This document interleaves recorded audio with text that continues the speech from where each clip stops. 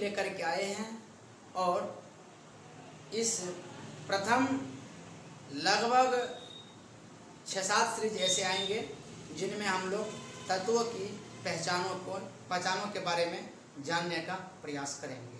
इसके बाद हम लोग रसायन विज्ञान में और भी टॉपिक पर विस्तार से चर्चा करेंगे। आइए जरा एक झलक देखते हैं आवर्त सारणी के तत्वों की पहचान के बारे में।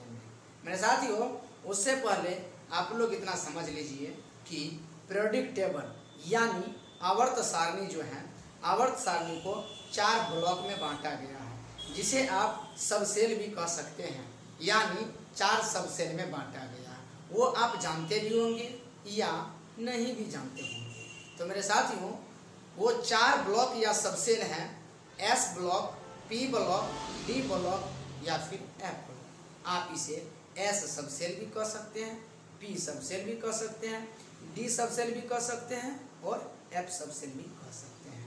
अब मेरे साथियों, यह भी बात यहाँ जानने योग्य है कि एस ब्लॉक में जितने तत्व हैं, जितने एलिमेंट्स हैं, उनमें उपस्थित इलेक्ट्रॉनों की अधिकतम संख्या दो होती है और पी ब्लॉक यानी पी सब सेल में उपस्थित जितने भी एलिमेंट्स हैं, जितने भी तत्व हैं उनमें उपस्थित इलेक्ट्रॉन, उनमें उपस्थित इलेक्ट्रॉनों की संख्या छह होती है। तथा डी ब्लॉक के जितने भी एलिमेंट्स हैं, उन सभी एलिमेंट्स में इलेक्ट्रॉनों की अधिकतम संख्या होती है आपके दस। और एफ़ ब्लॉक के जितने भी एलिमेंट्स हैं, उनमें उपस्थित इलेक्ट्रॉनों की अधिकतम संख्या होती है चौदह। दोस्तों, इसी के आधार पर हम लोग इलेक्ट्रॉनिक विन्यास बनाते हैं। फिर उसमें देखते हैं कितना इलेक्ट्रॉन है, कितना प्रोटॉन है, कितना न्यूट्रॉन है बैलेंसी क्या है, उसके बाद को बैलेंसी क्या है, यह सब हम लोग जानने का प्रयास करते हैं। लेकिन अभी हमें इन मुख्य बात पर चर्चा करना है कि आवर्त सारणी के तत्वों की पहचान, जो हम आपको एक सरल शब्दों में, एक सरल तरीकों में समझाएँगे। तो मेरे साथियों, हमने यह बात जान लिया है कि एस ब्लॉक में एस ब्लॉक के जितने भी एलिमेंट्स हैं, उन सभी एलिमेंट्स में तब इलेक्ट्रॉनों की अधिकतम संख्या दो होती है। पी ब्लॉक में जितने भी एलिमेंट्स हैं, उन सब में इलेक्ट्रॉनों की अधिकतम संख्या छः होती है। डी ब्लॉक के जितने भी एलिमेंट्स हैं, उनमें उपस्थित इलेक्ट्रॉनों की अधिकतम संख्या दस होती है। और एफ़ ब्लॉक में जितने भी एलिमेंट्स में उनमें उपस्थित इलेक्ट्रॉनों की संख्या चौदह होती है। साथियों, अब जानते हैं पीरियोडिक टेबल को हम लोग बनाते कैसे हैं। यदि आप पीरियोडिक टेबल को बनाना सीख जाएँगे तो आप तत्वों को भी भरना सीख जाएँगे, तत्वों को भी सजाना सीख जाएँगे। मेरे साथियों, इससे पहले, तत्व को जानने से पहले हम लोग आवर्त सारणी कैसे बनती है, इसे जानिए। हमने यहाँ देखा है एस ब्लॉक में जितने भी एलिमेंट हैं, उनमें उपस्थित इलेक्ट्रॉन की संख्या दो होती है। तो इसके आधार पर हम लोग आवर्त सारणी को बनाएँगे। इसके आधार पर आवर्त सारणी की संरचना करेंगे। आप लोग इतना जान लीजिए कि इधर लेफ़्ट साइड है, इधर राइट साइड है, ठीक है? तो लेफ़्ट साइड में एस ब्लॉक आएँगे। एस ब्लॉक की संरचना लेफ़्ट साइड बनेगी पी ब्लॉक की संरचना राइट साइड बनेगी, और मिडल में डी ब्लॉक की संरचना बनेगी, और सबसे नीचे एफ़ ब्लॉक की संरचना बनेगी। आइए जरा देखते हैं क्या है इन S P D F block में कितने वर्ग आएँगे, कितने आवर्त मेरे साथियों, वर्ग जो है, वर्ग कहते हैं जितने भी उदग्र रेखा है, जिसको आप वर्टिकल बोल सकते हैं। जितने भी उदग्र मतलब ऐसे ऐसे ऐसे लाइन ड्रॉ होगी, यानी खड़ी लाइन ड्रॉ होगी। ठीक है? ये हो गए आपके वर्ग। इस तरह से हम यदि अभी देखेंगे तो अभी का जो आधुनिक आवर्त सारणी जो है, यानी यह या आधुनिक आवर्त सारणी मोसले के आवर्त सारणी पर आधारित है। और इस आवर्त सारणी में वर्ग की संख्या 18 है। और आवर्त की संख्या सात है।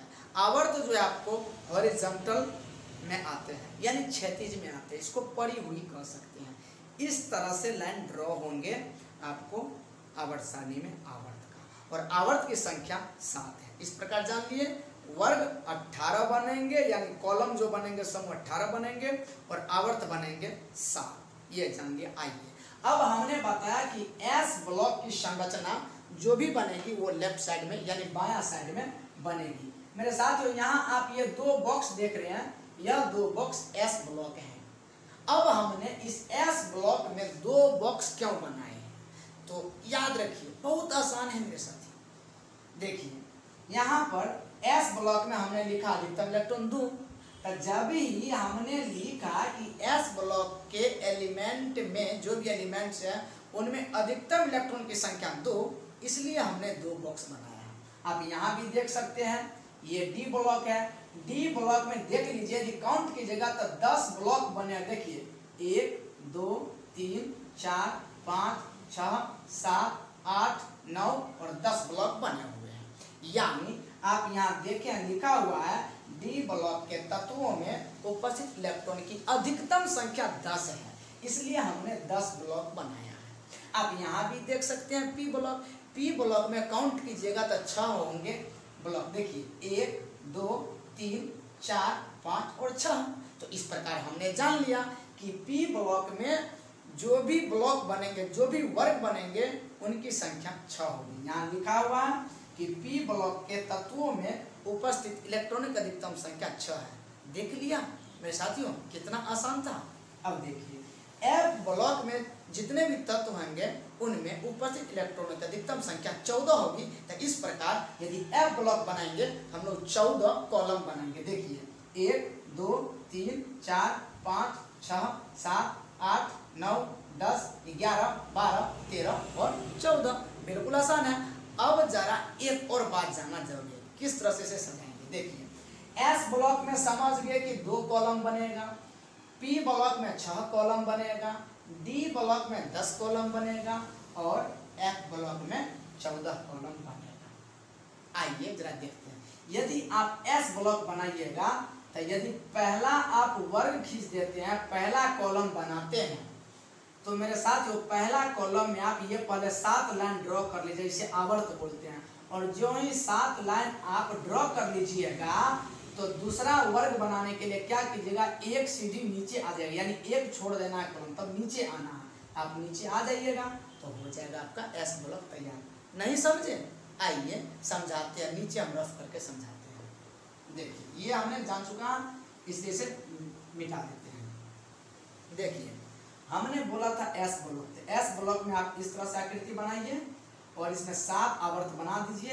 एक, दो, तीन, चार पाँच छः और देखिए सात आवर्त बना दिया।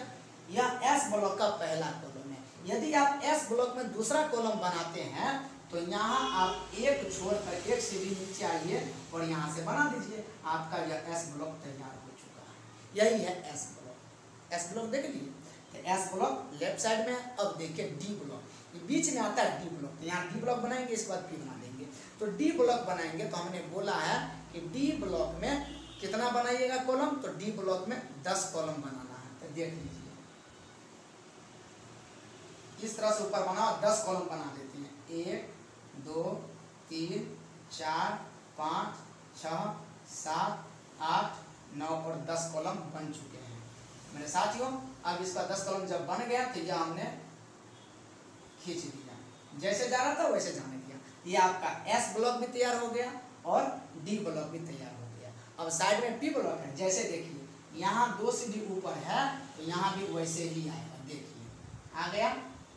यहाँ भी दो सीढ़ी ऊपर चला गया, आप देख सकते हैं। ये हो गया आवर्त तो तैयार हो गया। अब इसमें वर्क बनाना है तो हमने बोला था कि पी ब्लॉक में जितने भी एलिमेंट्स हैं, उनमें उपस्थित इलेक्ट्रॉनिक अधिकतम संख्या छः होगी तो इसका मतलब है कि छह कॉलम बनेंगे। एक, दो, तीन, चार, पाँच, और ये आपका हो गया छः कॉलम बन गया लेकिन मेरे साथ ये अभी अधूरा हो गया, क्योंकि यहाँ एक सीढ़ी ऊपर भी है। तो जैसे शुरुआत में सीढ़ी ऊपर था, उसी तरह अंत में भी आप क्या कीजिएगा, एक सीढ़ी ऊपर कर दीजिएगा। इस प्रकार से आपका एस ब्लॉक डी ब्लॉक और पी ब्लॉक तैयार हुआ है। यदि आप बनाइएगा तो आप समझ सकते हैं। बनाइए और प्रयास कीजिए। स्वाभाविक है कि आप भी बनाना सीख जाइएगा। अब देखिए नीचे एफ़ ब्लॉक बनाना तो बिल्कुल आसान। आप एफ़ ब्लॉक बना दीजिए, इसमें दो दो आवर्त बना दिए अलग से आवर्त नहीं है, ध्यान रखिएगा। आवर्त आपका पहला आवर्त, दूसरा आवर्त, तीसरा आवर्त, चौथा आवर्त, पांचवा आवर्त, छठा आवर्त, सातवां आवर्त। और ये अलग से आवर्त नहीं है, हम समझाते हैं, इससे पहले हम वर्ग बना लेते हैं, चौदह। एक, दो, तीन, चार, पाँच, छ, सात, आठ, नौ, दस, ग्यारह, बारह, तेरह और चौदह हमने बना चुका। अब देखिए मेरे साथियों ये जितना भी एलिमेंट्स हो, ऊपर वाला, ये जितना भी एलिमेंट्स है, ये सबका पोजीशन आपको यहाँ आएगा, यहाँ। इन सभी का पोजीशन यहाँ आएगा। इसे हम लोग थ्री डी श्रेणी का तत्व बोलते हैं। यहाँ आगे। यहाँ स्पेस बहुत कम है, इसलिए इसको अलग से लिखना पड़ा। इसलिए यहाँ है। ऐसा अवर सारणी में भी है, ऐसा मत समझिएगा, सिर्फ़ हम अलग से लिखे हैं। आवर्त सारणी में ऐसा ही इस साल का पोषण यहाँ है। और ये जो भी एलिमेंट्स हैं जितना भी परमाणु है, इनका अवस्थिति यहाँ है, जिसे हम लोग फोर श्रेणी के तत्व बोला करते हैं। इसे लेंथेनाइट्स तत्व कहते हैं और इसे एक्टिनाइट्स तत्व कहते हैं। ओके समझ में आ गया? उसी प्रकार से यहाँ हमने संरचना किया देख लिया? अब आइए जरा एक झलक तत्वों के पहचान के बारे में देखते हैं। अभी हम केवल और केवल एस ब्लॉक के जितने भी एलिमेंट्स हैं, उनकी पहचान करेंगे इसके नेक्स्ट वाले वीडियो में हम लोग पी ब्लॉक के जो भी एलिमेंट्स आएँगे, उनके पहचान करेंगे। ठीक है? आइए जरा देखते हैं।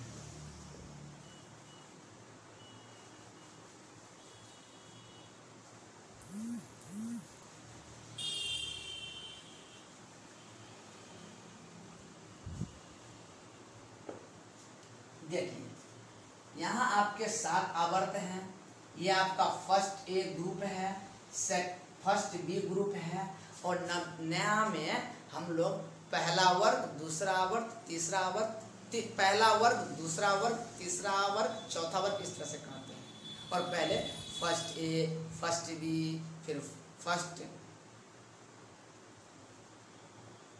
सॉरी हाँ ये फ़र्स्ट ए, इस तरह से होगा मेरे साथियों, फ़र्स्ट ए।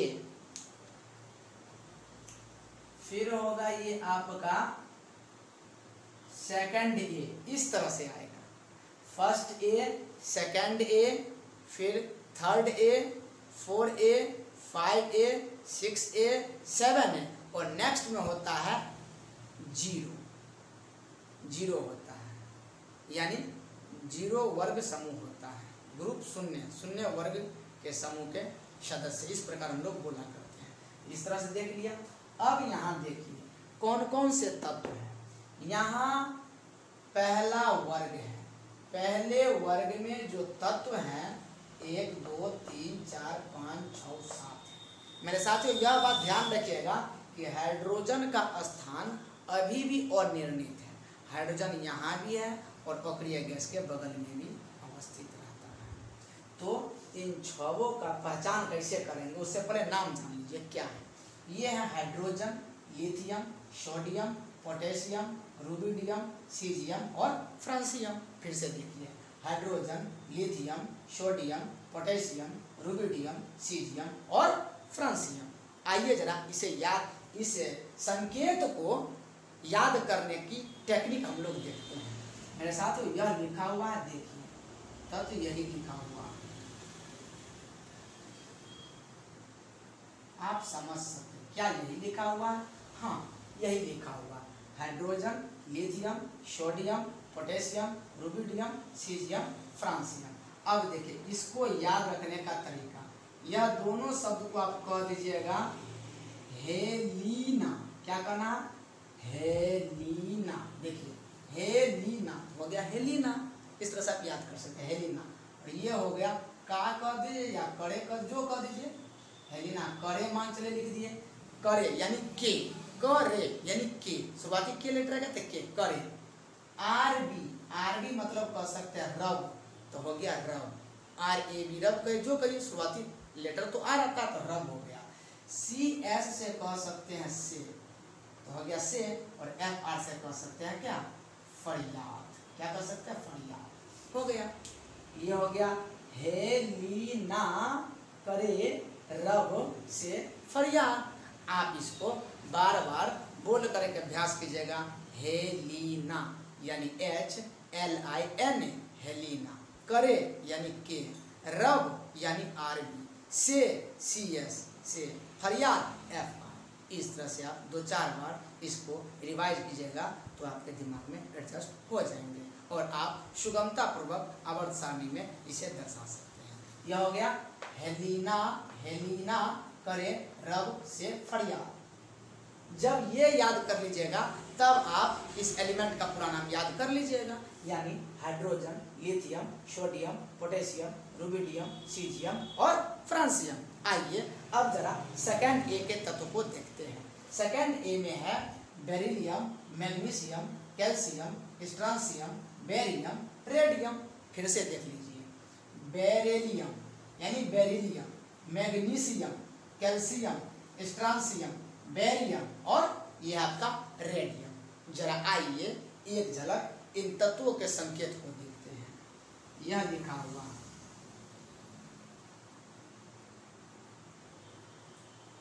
आप इसको इस तरह से कर सकते हैं, देखिए, बीई है, इसको याद कर लीजिएगा बेटा। ये है तो याद कर लीजिए मांगे। ये है तो याद कर लीजिए कार। ये है तो याद कर लीजिए स्कूटर। ये है तो याद कर लीजिए बाप। ये है तो याद कर लीजिए देखिए यदि आप इन सभी तक इन सभी वर्ड्स के शुरुआती लेटर देखेगा उसी से संबंधित है। जैसे बेटा बी ई टी ए बोल दीजिएगा तो बी से हो गया बी ई बे, बेटा हो गया। ये हो गया बेटा मांगे में एम शुरू तो होता ही होता तो बेटा ये हो गया एम जी से मांगे सी एस हो गया कार एस एस हो गया स्कूटर और बी एस हो गया बाप आर से रोए। हो गया, बेटा मांगे कार स्कूटर, बाप रोए। यदि बेटा मांगेगा कार स्कूटर बाप से तो बाप तो रोएगा ही रोएगा ना। बाप तो कहेगा कि बेटा कम से कम तू पढ़ ले, तू तो कुछ कर ले, इसके बाद स्कूटर कार जितना भी लेना है ले लेना। हाँ तो हो गया, बेटा मांगे कार स्कूटर, बाप रोए। बी से बेटा, एम जी से मांगे, सी से कार, एस, आर से स्कूटर, बी ए से बाप, आर से रोए। यहाँ हो गया, बेटा मांगे कार स्कूटर, बाप रोए। यह था हेलीना करे रब से फरियाद। यह था, बेटा, मांगे, कार, स्कूटर, बाप, रोए। इस तरह से हमने देखा। तत्व का नाम क्या देखे? Hydrogen, lithium, sodium, potassium rubidium caesium, francium beryllium magnesium, calcium, strontium, barium और रेडियम तो मेरे साथियों, इस तरह से हम आज के टॉपिक में अवर्त सारणी के तत्वों की पहचान और उनके संकेतों को देखें आसानी शब्दों में देखें, सरल शब्दों में देखें, उम्मीद है कि यह बातें आपको समझ आ गई हों। यदि आप एक दो बार रिवाइज कीजिएगा तो पूरे माइंड में एडजस्ट हो जाएगी। तो मेरे साथियों, इसी तरह हमारे साथ बने रहिए, और भी टॉपिक आते रहेंगे। और आपसे उम्मीद है कि आप अधिक से अधिक आप इस वीडियो को शेयर कीजिए, और मेरे चैनल को सब्सक्राइब कीजिए लाइक कीजिए, तथा कमेंट्स भी कीजिए, ताकि आपकी कमेंट्स आपकी राय हम तक पहुँचे और हम उन कमेंट्स पर कुछ पहल कर सकें। तो मेरे साथियों, बने रहिए इसी के साथ। जय हिंद।